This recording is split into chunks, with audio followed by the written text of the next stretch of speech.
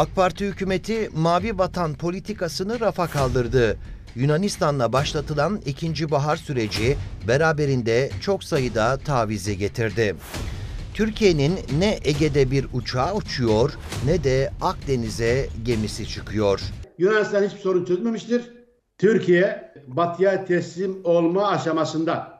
Yunanistan'ın Türkiye'ye yönelik tehditlerini görmezden gelen AK Parti hükümeti Ege ve Doğu Akdeniz'de bölgesel işbirliği mesajları veriyor. Ancak Yunanistan'dan ne Ege ne de Doğu Akdeniz'e bir geri adım var. Bardağın dolu tarafıyla boş tarafı bir denge oluşturmuyor.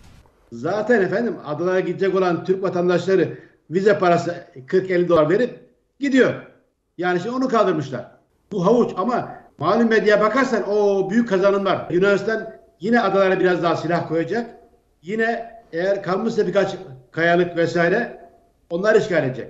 Erdoğan, Atina'yı ziyaret ederek Yunanistan'la açtığı yeni sayfa, arka planda Türkiye'nin içine çekildiği tehlikeli bir Avrupa Birliği tuzağının parçası.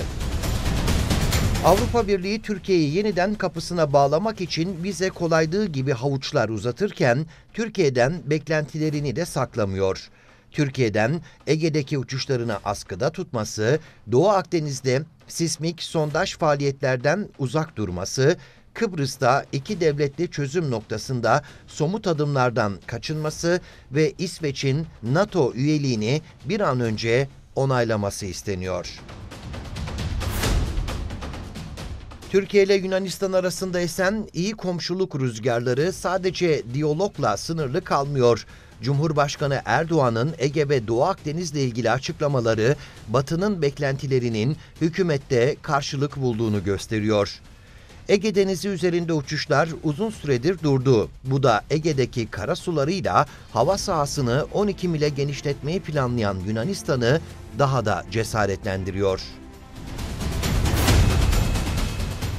Türkiye, Ege'deki gayri askeri statüde bulunan adalarda yaşanan Yunan ihlallerini birer Navtex yayınlayarak dünyaya duyuruyordu. Ancak son dönemde bu uyarılar da sonlandı. Doğu Akdeniz'de ise Türkiye kendisine dayatılan Seville haritasının dışına çıkan son Navtex mesajını 2020 yılının Aralık ayında yayınladı. Bu tarihten itibaren Türk sondaj gemileri Antalya Körfezi'nin dışına çıkarılmadı. Sismik sondaj gemileri Türk karasularının ötesine gönderilmedi. 3 yıllık süreçte yapılan tek bildirim Eylül ayında Türk kıta sahanlığı içinde çalışmalar yürüten Alman araştırmacı gemisi Artrig için oldu. Doğu Akdeniz'de Türkiye'nin hak menfaatleri her geçen gasp ediliyor. Sesimiz çıkmıyor. Avrupa Birliği Türkiye'yi almayacak. Bunu hala göremiyorlar. Ha alacak. Sevri hortlatıp alacak. Eğer sen parça parça olursan belki o zaman alırım diyor.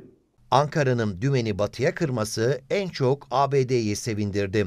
ABD Dışişleri Bakanlığı Erdoğan'ın Atina temaslarının memnuniyetle karşılandığını duyurdu. ABD, Yunanistan ve Türkiye'nin bölgede birlikte çalışması için her düzeyde ikili görüşmeleri desteklemektedir denildi. Merhaba arkadaşlar ben Halil Nebiler. Ulusal YouTube kanalına göz attığınız için peşin peşin teşekkür ederim. Eğer daha fazla video, program özeti, ne bileyim canlı yayın falan izlemek isterseniz sağ taraftaki abone ol butonuna tıklayabilirsiniz. Butonlar da aşağıda mı yukarıda mı aşağıda galiba değil mi? Heh, oraya tıklayabilirsiniz. Son dakika haberleri için ulusal uygulamasını indirmeyi unutmayın. Şimdiden izlediğiniz için teşekkür ederim.